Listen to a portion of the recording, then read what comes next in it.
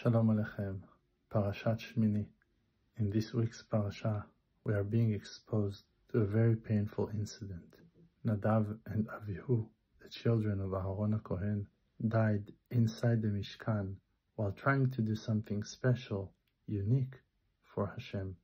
They wanted to serve and to sacrifice, but they were doing it voluntarily. They were not called by Hashem to come, and the commentaries are adding that they did it after drinking wine.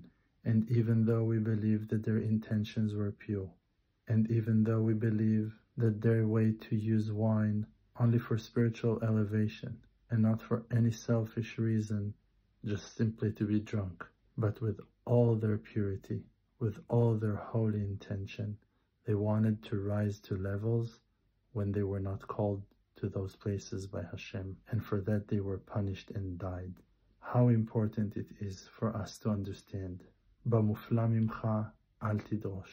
There are levels that are higher than you, higher than your ability to grasp. To think that you belong in those high places, high floors, it's actually to throw your logic and your true understanding of your level and condition and to base your decisions on your wishful thinking, on your desire for growth.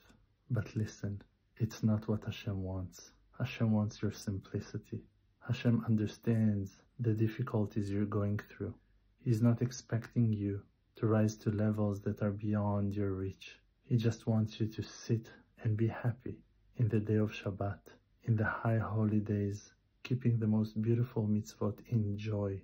We're meant to serve Hashem in great happiness, feeling good with ourselves, learning Torah in places where our heart desire, במקום שליבו חפץ, להתענג על השם, to enjoy Hashem, to feel pleasure while serving the maker of the world. So please, don't follow the advice of the Yetzer Hara, of the evil inclination, that try to show you, no matter what you achieve, that you have not achieved enough. No matter how good are the things that you have, he wants you to think that you have not accomplished the most beautiful things in the world, but you did you have faith, and the Maker has faith in you. Im ta'aminu te'amenu. If you will believe in the goodness of Hashem, you shall be believed. People will follow your light, and Hashem will show your greatness. A rich person is the one who is happy in his share.